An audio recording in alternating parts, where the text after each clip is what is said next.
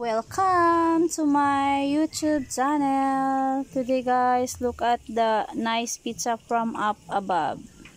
Hulog ng langit yan guys. Hulog ng langit din from the gas. Iba-ibang sausage yan guys. Iba-ibang meat.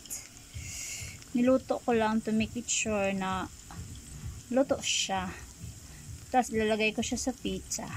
Tapos yan guys, bigay din ito ng guest. Kunting bolonis na lang siya. So, ilalagay ko rin siya sa pizza. Wala.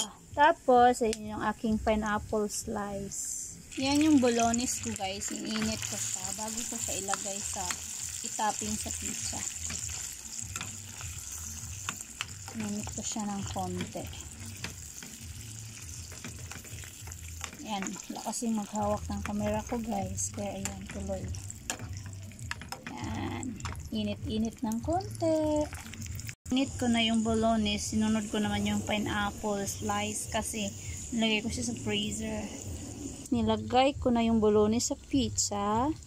Tapos kalat-kalat ng konti. Ganyan. Yan. Kumbaga guys, creative to guys. Kasi mo gusto ko yung pizza ko maraming toppings.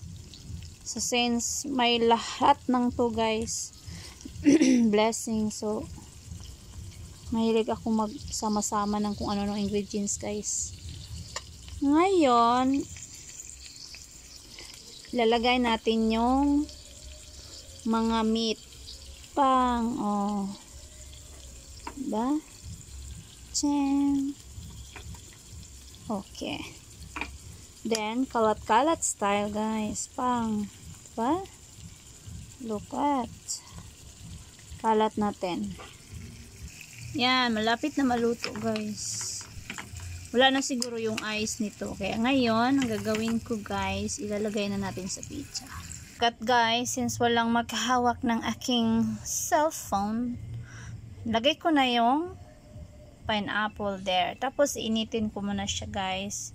You have to wait until a little brown under. So, See you. Thank you so much for watching. Kanina ay plain na ang aking pizza guys. Ngayon ay naging overloaded na. Everything is there now. Tomato, different sausage, pineapple, bell pepper. Okay. Thank you.